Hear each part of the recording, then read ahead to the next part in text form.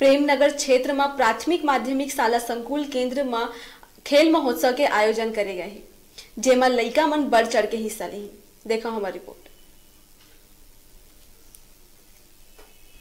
संकुर स्थल के खेल महोत्सव के आयोजन में लइका मन के खेल प्रतियोगिता ला देखे बार आस पड़ोस गाँव के लोगन मन संकुल केंद्र में इकट्ठा हो रही तीन दिन तक चले महोत्सव के समापन लइका मन के मनमोहक सांस्कृतिक कार्यक्रम ले हुई लइका मन के सांस्कृतिक कार्यक्रम ला प्रोत्साहन दिए बर जनप्रतिनिधि और शिक्षक मन के द्वारा प्रोत्साहन राशि घलो दे गई सूरजपुर ले डिजिटल रिपोर्टर नंदलाल यादव की रिपोर्ट।